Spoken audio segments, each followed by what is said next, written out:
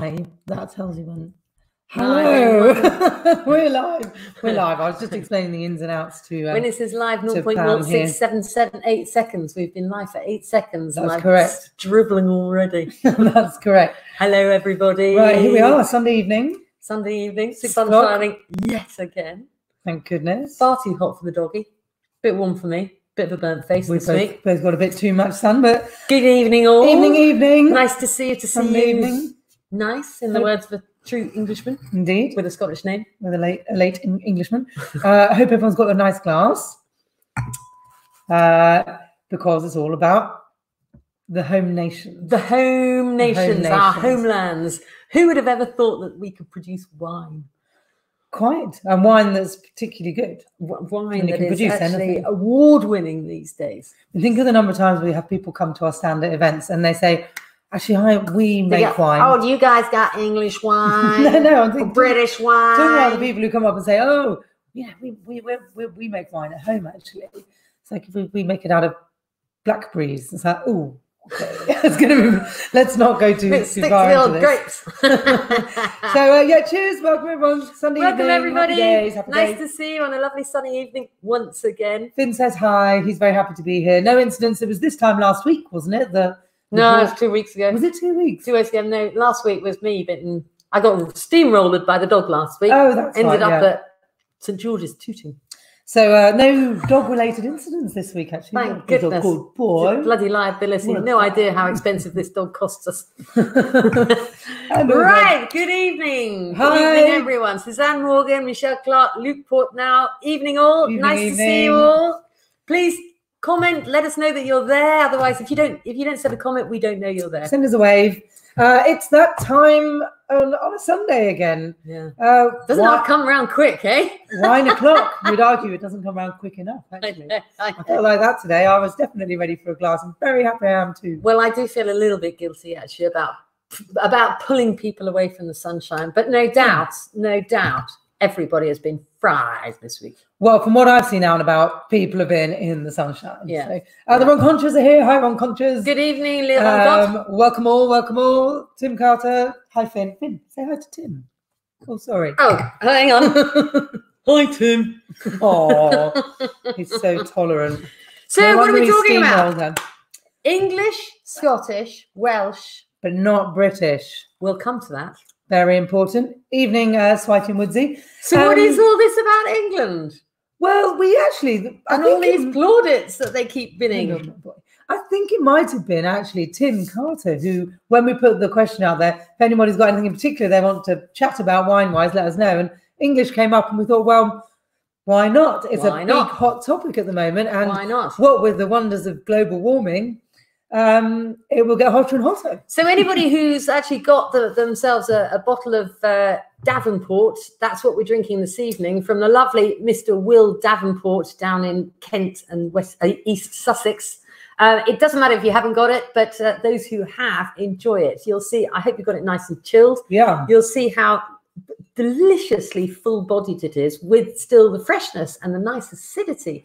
And that acidity is coming through but but not in a really harsh way and that's really down to what's going on up there at the moment and i suppose that's really what we've got to talk about why why is it that we're making really good wine now why Well, there's a few elements, aren't there? I mean, it's um, that it is that thing up there And I, that's what I always said. We always ask people, you know, what does it take to make wine? What do you need? Is that grapes? Yeah, need grapes, sunshine, sunshine. Mm. Uh, that's an element that's out of our control. Yeah. Uh, uh, soil, well, you plant where the soil is right. Yeah. People, that's bit of human intervention that's also an important factor. So the knowledge is uh, key is getting better and better. Yeah, People yeah. are learning, and and also people are coming in from other countries and and bringing their expertise snapping up land, bringing their expertise, Snapping and producing some top quality yeah wines. Yeah. But we're really talking about literally only in the last 20 years has anybody started seriously taking or taking taking wine from the UK.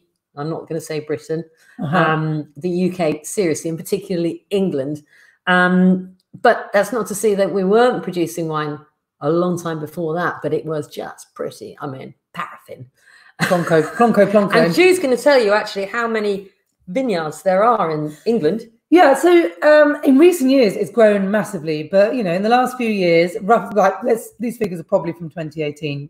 Um, but you're looking at in England, it's around about 450 vineyards. And in Wales, Wales, 20. 17? Oh, I was going to say 25. No, 17. Okay, okay. There's a few dotted around in Scotland. Um, none probably particularly commercial for reasons. there's, there's, there's one or two.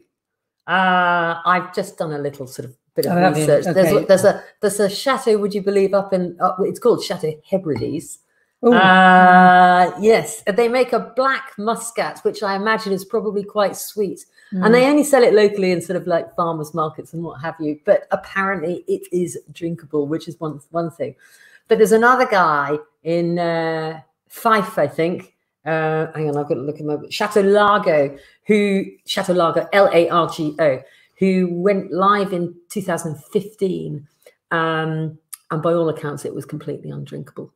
Oh, well, that's a shame. But he's That's still trying, and I don't know the latest. He is still trying, and arguably things are going to get easier, which is what you were just about to say. It's all about the weather, isn't it? And um, actually, I'm just looking at what a few people are drinking here. So, um, Camel Valley and Chapel Down, the wrong contras. Mhm. Uh, Luke Portnow, Three Choirs, Blanc de Noir.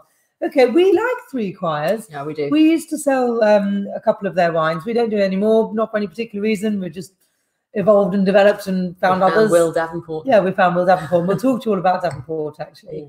Um, but yeah, so in the last So how many? Sorry, how many? How many English vineyards? 450, to 450 17 vineyards. Wales to a, a A spattering, handful in Scotland. spattering of Scotland.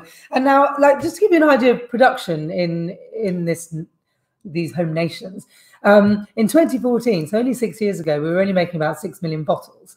Um, now that last year was up to about 16 million. Yeah. So that is a massive increase. Yeah. In May 2019 alone, there were 3 million vines planted Yeah. additional to the existing. So, Yeah. you know, this industry is going to boom in a sort of British, quiet and sophisticated way. right, conservative manner. But so just again, a bit of perspective here. So 16 million bottles produced in England. Um, we consume more than that in a year, Yeah, considerably more. it's true. I mean, we consume about 820 million bottles. So, Yeah.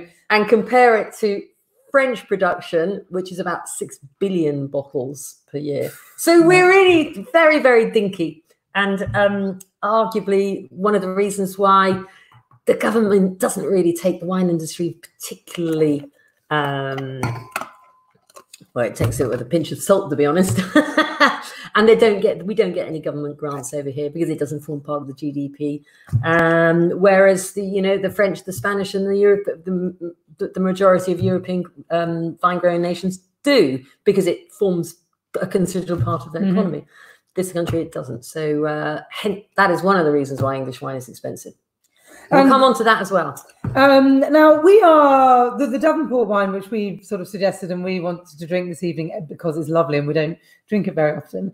Um, it's a still wine, you would notice, and most people probably think of the UK's wine market as sparkling um, or gin and tonic, as Sarah White. Yeah, I know, I know. Somebody, I knew Uh, somebody would do that. but it is English, so we'll Proper give it that. good English tradition. Quite Um, right. But yeah, so it's seventy percent or seventy-eight percent sparkling Mm. production in this country, Yeah. and only much smaller amount of um, uh, Still still. Yeah. Uh, actually, I'm going to pop a little photo up, and you can talk about Love a photo. Get the tech going. Let's get a photo up. and you can talk about why. Well, this will give it away, but why sparkling has kind of kind of kicked off first here in this country. It's so- the white cliffs of Dover. No, no points. A for- tear in my eye. no points for guessing the location of this photo. However, it is across a very interesting cross section of land. It is Mhm. nice, not very nice. Yeah, yeah, yeah, yeah. So some of you might have heard me talk about this, but um, there is a reason why England is producing fabulous sparkling wines. We're not allowed to call them champagne, but to all intents and purposes, that's exactly what they are, made in exactly the same way as champagne.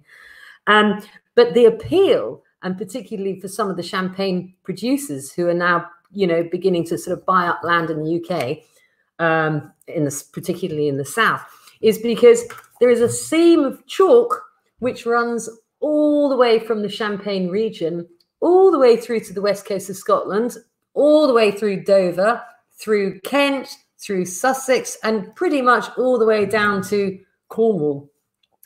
And so we're literally sharing exactly the same seam of chalk across the across the south of Britain, south of England, um, with Champagne. So what was missing previously was the weather. But of course, as we've all experienced in the last three months, sun since March the 23rd, Yeah, yes, yeah, exactly. um, the sun hasn't stopped shining. I mean, it's literally it's been blazing, and this is fabulous for the growing season because it's the growing season which is the most important bit. Um, there, you know, there is an argument that you can't go too high in terms of latitude, um, and this is why Scotland struggles. It's just too high, and it doesn't get the growing season. But again, even up there, it's changing, and there's still sort of you know suggestions that the even the Welsh, uh, you know, rainy old Wales, they are going to potentially double their production in the next ten years. So um, Maybe a good investment opportunity. Snap up a bit of south facing, sort of slightly higher than wet Yeah, yeah. land in Wales or Scotland. Yeah. perhaps. So the thing about um, lower climates and sort of rain and what have you is it does tend to produce quite a lot of acidity in your wines. So English sparkling wine tends to be a little, has historically tends to be a little bit more acidic than say the Champagne region. But again, things are changing, uh, and they also practice malolactic fermentation, which is a, a secondary techie. fermentation where you you convert the malic acids into lactic, much more appealing. Malic is the happily acids into lactic milky acids. Um, so it softens the wine, but fundamentally, fundamentally, again, much closer to champagne Mhm. than, than, than than to sort of like you know paint strippery. So actually, that's that's quite a good point for me to turn around and say to the masses, what are the two main grape varieties grown in this country? Do we think? Okay, put it out there. Oh yeah, two main grape varieties. I mean, there's an awful lot of different grape varieties grown, um, but we're going for what are the two main varieties? Do you Oh, think? oh. Um, no prizes for this, just the kudos of getting it right. And I see we have a, another Portnow joining us this evening. Good evening, Bethan Portnow. Welcome, welcome. Um, Um, Steve, Steve Ronconcho has just made a good point here, and so they came across an excellent Welsh winery a few years ago, Anchor Wine. aha, So uh, um, I think possibly they might be called Ancre Hills, but yeah. we considered um, stocking them at one point because they really are fantastic, and I, I believe they're a biodynamic vineyard. They're certainly organic. The, the Um, reason why we couldn't was the production was so minuscule. We just couldn't get enough stock. Couldn't get very much, and it was bloody expensive. For Luke Portnow's come Ah. in with the correct grape varieties Don't again. say what they are, just in case people are kind of lagging behind on the uh, yeah, so we're asking web speed. what are the major two grape varieties used or produced in the UK? Yeah, two major grape varieties grown, I Used, guess. grown. Yeah. Yeah. Um, and is now a good time to mention the subject of this because we're very specific at saying this is about English, Welsh, Scottish, but not British. Yeah. Now, why is that, Pam? Well, do you know what? I was walking up with my mum this week, this afternoon, and I was telling her exactly the same thing. And she asked, she's from Scotland. And she said, for goodness sake, it's all British. Well, it is all British. it is all British. However, if you get a label, if you see a wine in the shop uh, with a label that states British wine, then the likelihood is that the grapes were not grown in the UK, anywhere in the UK. So it may have been made in Britain, but with grapes grown from anywhere, literally anywhere. So the grapes have been imported. Um, it might even it might either be the grapes or even the grape must. Um, it's really very very low level wine, and it's not considered to be proper wine. so, just uh, when you said the grape musts, what just expand on that? What do you mean by that? Crushed, So literally the crushed pulp- into yeah. Have they already grape juice. used the first juice, No. or No, it's no, just- literally still on the skins? yeah. Okay. Yeah. Um, as Steve has just said, it's like British sherry. Yes, uh, I'm very much so. Correct. So just to, to reiterate that, reiterate that, so this wine here, Davenport, uh, Davenport Vineyards. It doesn't actually even say England. It says on the bottle, produced and bottled at Davenport Vineyards, Rotherfield, East Sussex, UK. It is an English wine. Yes, it's British, but it's produced in England by an English vineyard using English grapes.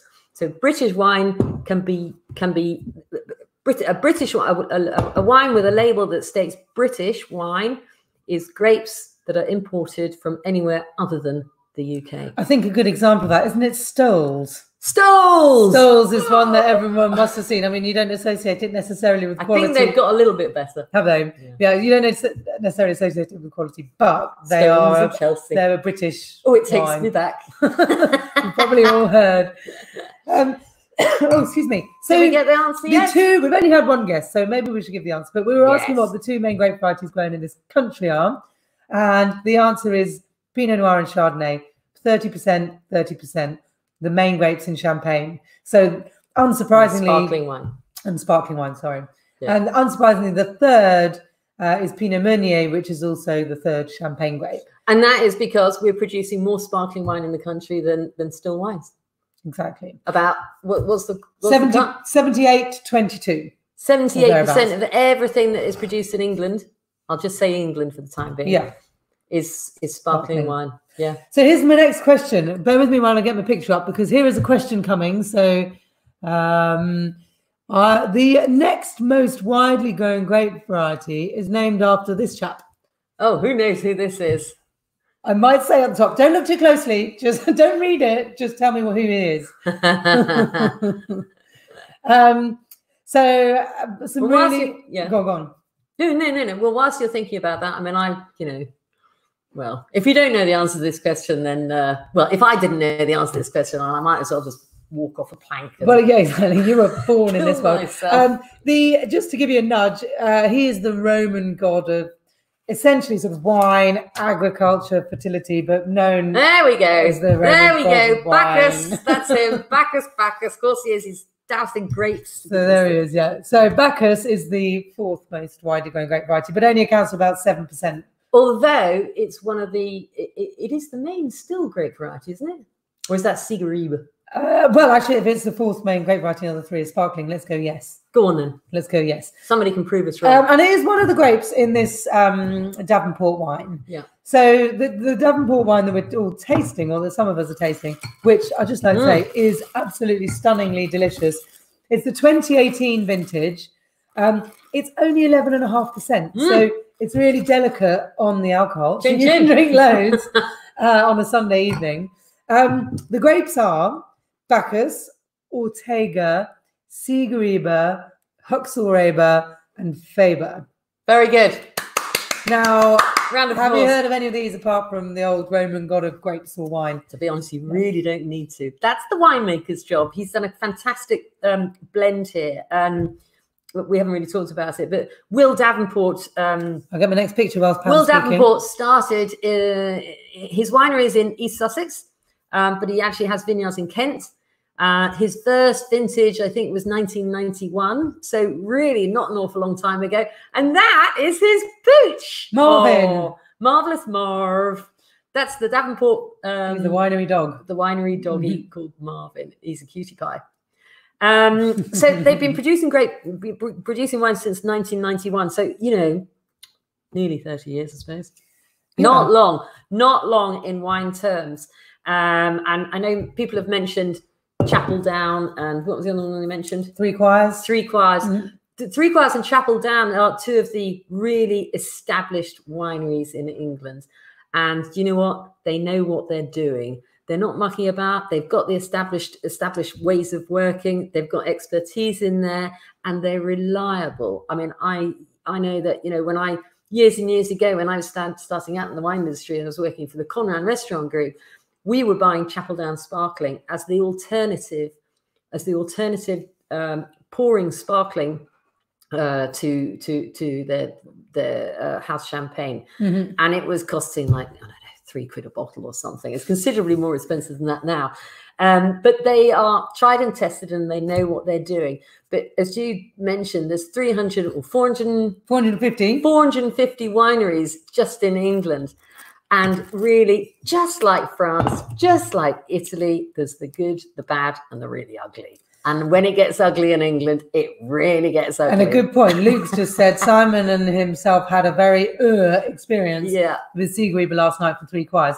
yeah. It's uh, it's hit miss. We were we had a lady come up to the office one day. She wanted to show us some wine. She was coming from an English winery. Um, Oh, do you remember? we won't name and shame, but I can't remember what it was. But um, she arrived with these wines, and it was. so excited she was to Mm. show us her English wines. But really, what she was doing was was trying to ship some bin ends, which was a bad start. Yeah, And there was sort of 2015 rose, Eurasian. scary rose, and it's gone Um, orange. And yeah, wines that really weren't made to age. Like this this wine, you know, one or two years. Yeah. it'll change over that period. Yeah. and will still be good. Yeah. But it's not made to to lay down. No, it doesn't, need, to. It No, doesn't need to. It's, it's drinking fresh. now. It's fresh now. And actually, we also haven't mentioned that Will Davenport's vineyards were the first to go organic in the UK, yeah, which is an enormous achievement. And again, bear in mind, he's only been making wine since 1991. So this is 100% organic, coming out of organic vineyards, organic winery, um, clean as a whistle. Mhm. Super duper, and you're getting flavour. If you were blindfolded, you wouldn't have a clue that this came from England. Not that you would know where anything you'd came from. probably Really, guess kind of Alsace or something because it's got the lovely soft ripeness. Yeah, ar- aromatics about Oh, it. oh. Um, and uh, oh, actually, this question just coming from Tim Carter asking what how we rate Denbies. Now, for those of you who don't know exactly where we are, we're based in sort of London, southwest London, Surrey. Denbies being our closest proximity vineyard, which is a big setup. It's a it's a big operation. yeah. Um, I remember when it was the- built.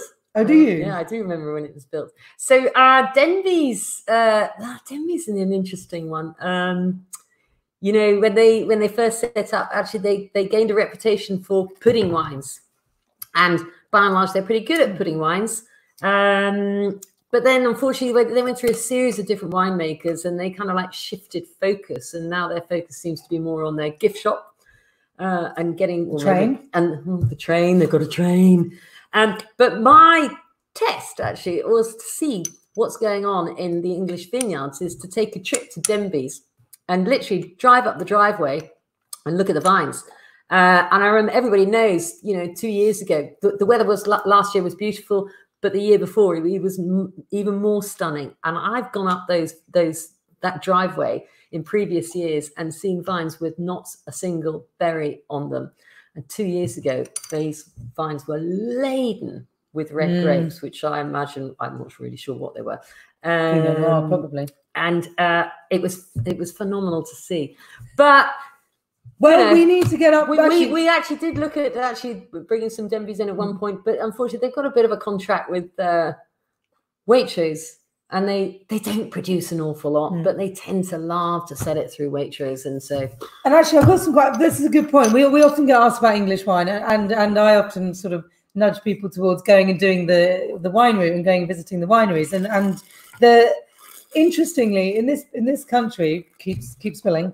Um, about fifty percent of the wines that are produced here are sold to trade, so to yeah, kind of uh, retailers and on trade, so people selling in restaurants, etc.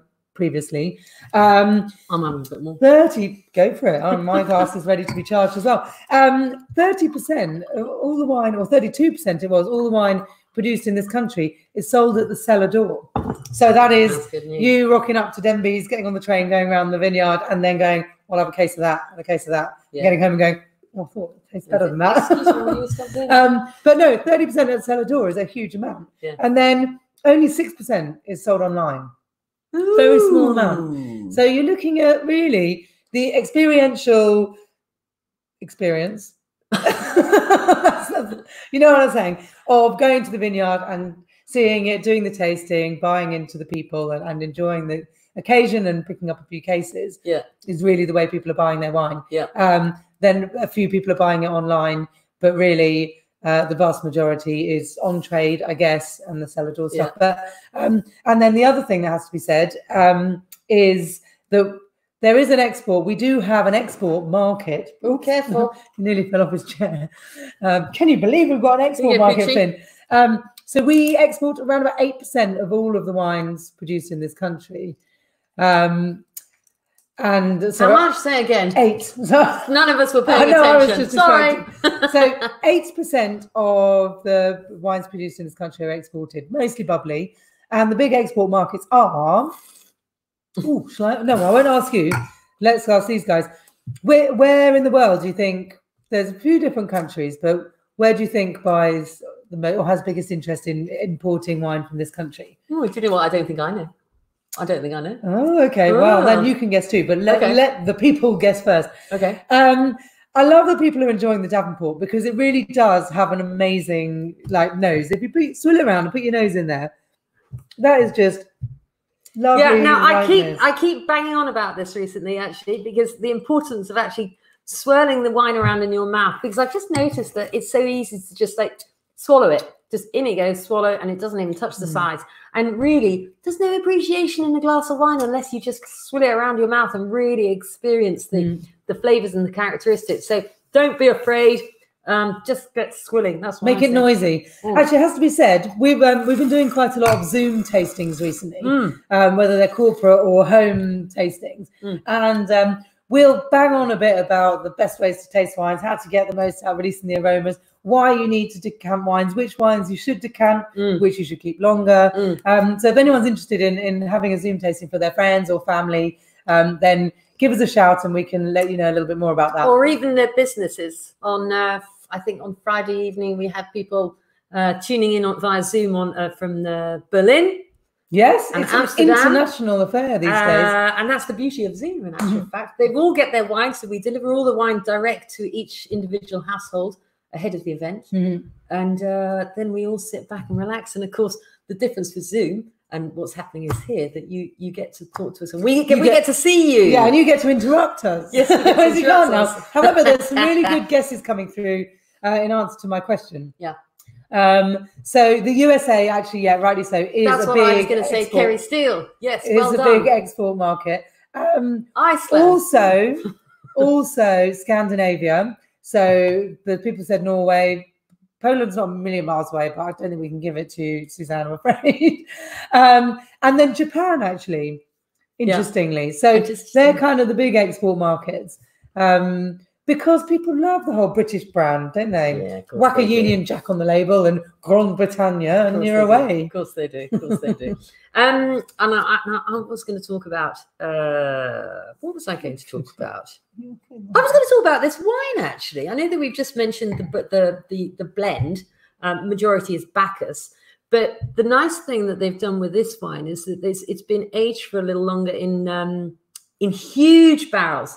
So a standard French barrique holds about 225 liters, but these are called foudres, which are the huge ones that actually, if you stand up, they're even they're still they're even taller than you. And so they impart a little bit of woody character, but really, really, really minuscule.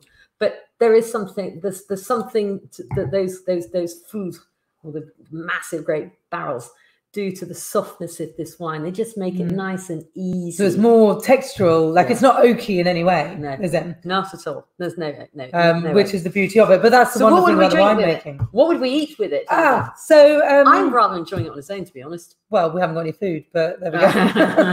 um, I think I would go down the salmon route again because of that lovely oiliness of salmon with the Mm. soft and it's almost slightly oily, isn't it? It's got a sort of slight viscosity. It's it's a creaminess. yeah, So I think salmon would go really well. yeah, or a, or a nice whitefish. Simple, something simple, Yeah, not yeah. teriyaki salmon. No, that's too much. That's Yeah. too much. Something easy, pan fried, little bit of butter, bish bash bosh. Yeah. Or down if you're going down the canapé route, um, yeah, a little bit of even smoked salmon blini, you know. yeah. No horseradish, I don't think. Just a nice, gentle No, with a little and dill, I think that's what this is all about. It's just nice and gentle. Um, Just going So- to mention before you, just because we're on the food and wine thing. Yeah. Um, today I have finally perfected the canapes for Thursday's Lebanese night. oh yes. Um, so uh, uh, Thursday is Lebanese night. We're going to be tasting our lovely Chateau Ksara red and white, yeah. which are phenomenally good wines. And if you have ever heard of or tasted Chateau Musar, this is going to save you a fortune because they're so much more affordable and are just fantastic.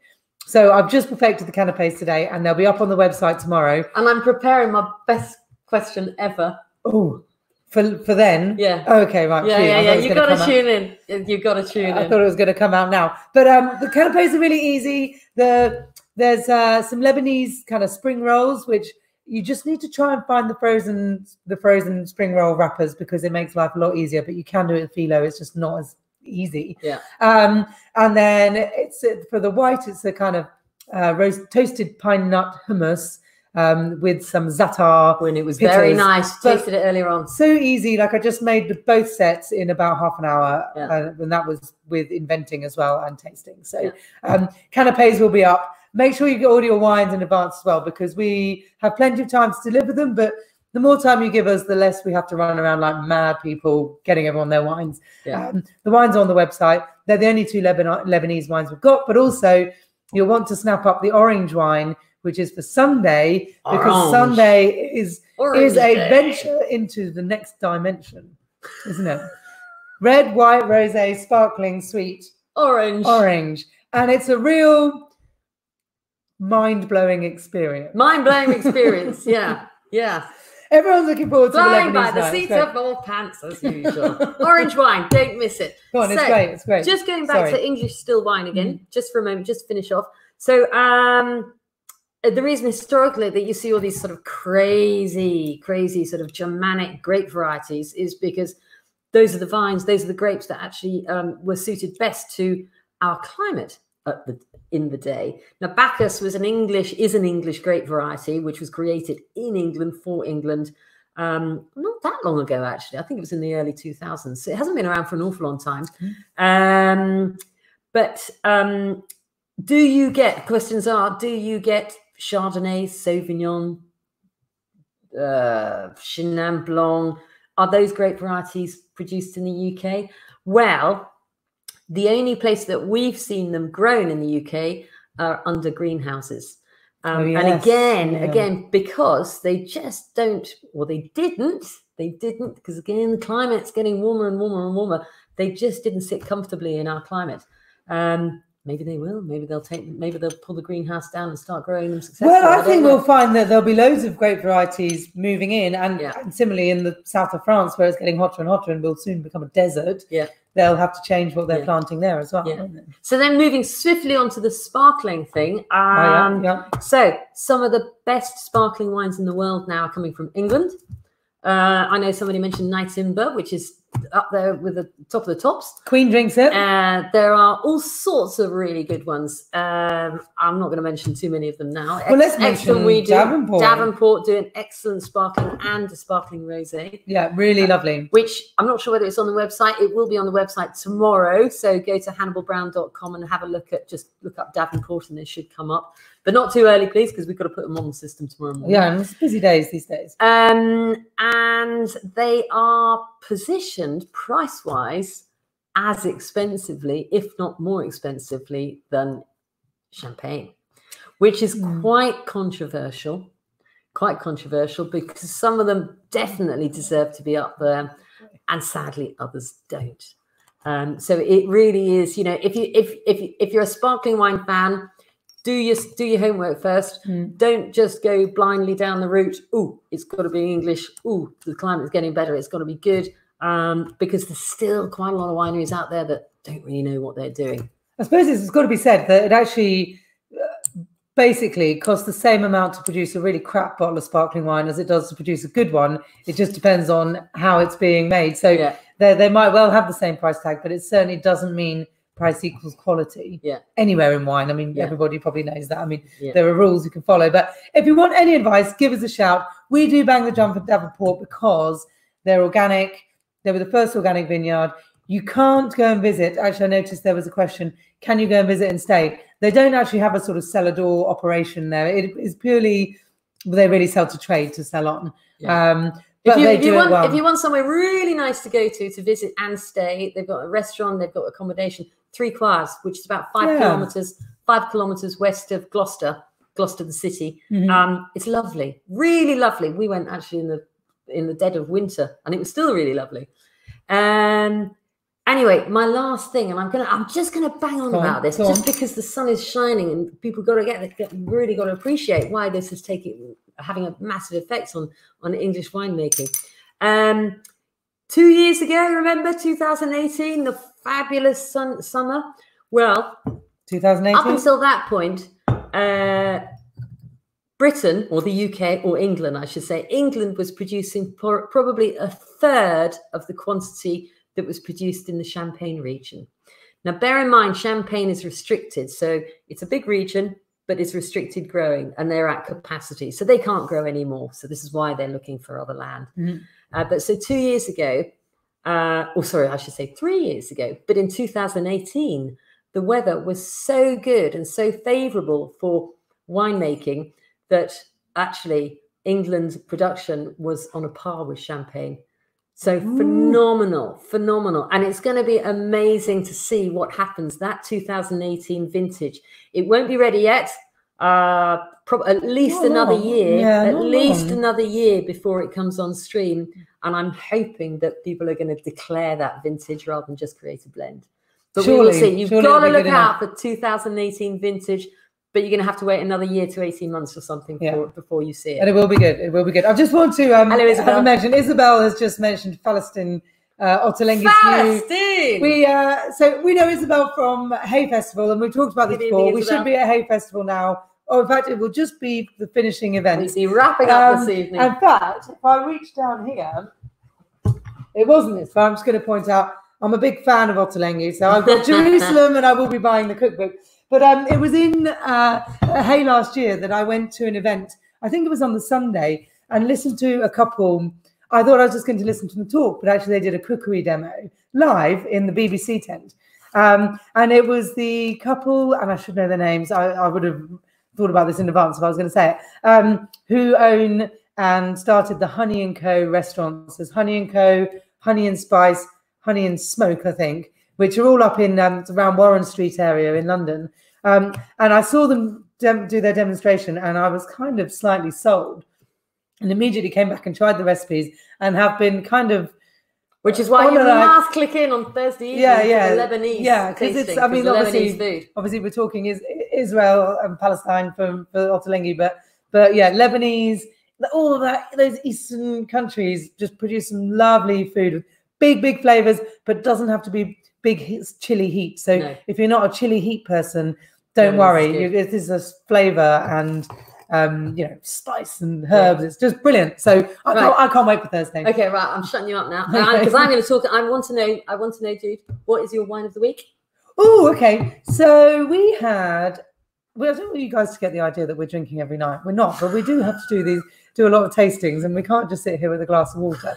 So- We had a really lovely Chenin Blanc from one of our producers, Blockhead Estate. It's under ten pounds a bottle, and it's just lovely, Mm, it's very just good. lovely. And I haven't had it for a wee while, Yeah. and and it was just one of those. Oh yes, I remember why we had that as our house wine for so long Yeah. because it's just so good. So have a look, Blockhead Estate Chenin Blanc for a nice, soft, easy drinking glass of wine. Very good. Lovely. Very What's good. yours? Mine is a relatively new wine that we haven't had for very long. It's a Gruner Veltliner from Austria, um, from Allram, A L L R A Oh N. yes. and I really like it. We had a previous Gruner and uh, unfortunately no longer produce it. Um, but the Allram was a bit of a find because it's it's cheaper than the last one for one thing, and um, I mean, not not to be said that I'm actually taken by the beauty of its bottle, but its bottle is about this high, beautifully slick. but actually, I love it. I think Mm. but my wine of the moment. Da, da, da. Well, I've got two wines at the moment. Are we allowed to? I was only I had I got shut up on my Lebanese cookery. Go on then. well, my wine at the moment is probably what everybody's Oh, drinking at the Here's moment. what I made earlier. Ding, ding, ding. Our lovely Chateau d'Olière, which is going great Yeah, guns. yeah. Absolute great guns. Um, so this is the rosé for the summer for everybody. It's thirteen ninety nine and worth every single penny. We're converting customers left, right, and centre from other extraordinarily more expensive rosés. The Spring Um, Angel, namely. Ooh, yeah. Um, but this, God, if you haven't tried it, try it. And and our news this week actually is we are now supplying the wines to Westside Tennis Club in Wimbledon. Oh yeah. Um, so good if new- anybody's got a tennis club who uh, are, are able to put your bar outside during the lockdown, um, and they need some decent wine supplied to them, then give us a shout. HannibalBrown.com. Chateau d'Olière. Very good, very Yeah. good. So um, just a little recap. Yeah. Um, you might have realised that on Thursday it's Lebanese night. Um, the Lebanese wines are on the website. Purchase them. We'll get them to you in well in good time. Make the canapes. Matches made in heaven. Yeah. Um, Sunday, it's a new dimension with orange wine. Scary. It's The- scary. The orange wine we've chosen is the the less scary end of the scale. Yeah. Um, it's around about fifteen pounds a bottle. It's not the cheapest bottle of wine, but it's really interesting. And I, you know, branch out, open your mind, and join us. And if you got a daisy, just put it in your mouth and go, ooh, it's orange. Ooh, ah." Okay, Ham needs to be convinced a bit on these, but it's really good, and it's a real. It's a think of it as an educational but still delicious experience, Yeah. as always. And then something for everybody to remember, remember, remember the 21st, Father's Day. They will not forgive you if you don't get them a bottle of personalised wine from HannibalBrown.com. With a picture of your loved one on it. Look at the back. Yeah. So personalized wine design, a little shout out. It's on our other website. Mhm. It's all, you can go to Hannibal Brown, you'll find your way, personalizedwinedesign.co.uk. Mm-hmm. Design your own label, produce a special bottle of wine for Father's Day. So that's that. Um, and one other point, I suppose there's going to be a lot of birthdays still happening for these poor people who are celebrating during lockdown. Was it happy birthday to you? Yeah, yeah, Happy no, yeah. Well, they don't want to be sung to just for people washing their hands. Um, but have a look at our DIY wine tasting kits as well, because it's a really fun way to have a fun evening drinking wine with your family. Finn, wait, just we're nearly done. enough. We're nearly done. um, actually, he's only got an attention span of 10 minutes, so this is really rather good. Um, so DIY wine tasting kits, uh, join us for the tastings, get your rosé orders in because the sun's going to still be shining and it is lovely. Yeah. Um, And the And I Orum think- Grüner Veltliner. Orange Good Event Leader, and for a more house uh, entry level, Blockhead Chenin Blanc. All delicious, all lovely. Jump on, And don't buy British wine. yeah, not British. English, Welsh, or Scottish, but not British. um, and I think we'll leave you Is with it a that. wrap? Is it wrap? We'll leave you with that. So thank you everyone for joining us. Hope you've enjoyed the wine. Hope you've been sort of learned a little bit about the English, Welsh, Brit- Scottish wine industries. Um, hope everyone does get stuck into a bit because it is good stuff. And uh, Luke has pointed out that orange wine isn't always that scary. oh, Pam. it is. So- it is. It no, is. no, no, it's not. So we really look forward to seeing you all on Thursday. Get in Thanks touch if there's anything we can do. And um, Please share. Please share. Please share. Get all your friends on this, uh, and we'll keep doing these for as long as uh, as long as you're interested. as long as Finn will sit there. Okay, right. Bye, That's it. everybody. Bye, Take care. y'all. Bye, y'all. Take care. Cheerio. Yeah, fences. Cheerio too. Bye.